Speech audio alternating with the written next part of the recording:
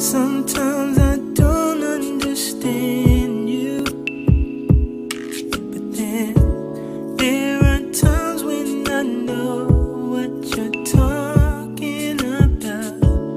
Girl, I'm here just to please you, and tonight.